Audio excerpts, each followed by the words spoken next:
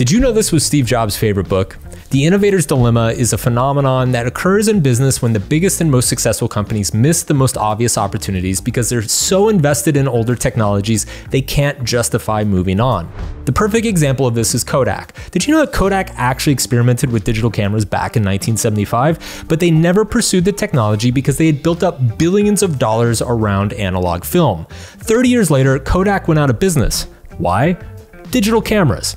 The innovator's dilemma shows up not only in business but also in life. Generally, when we miss huge opportunities, it's not because we weren't looking for them or weren't aware of them.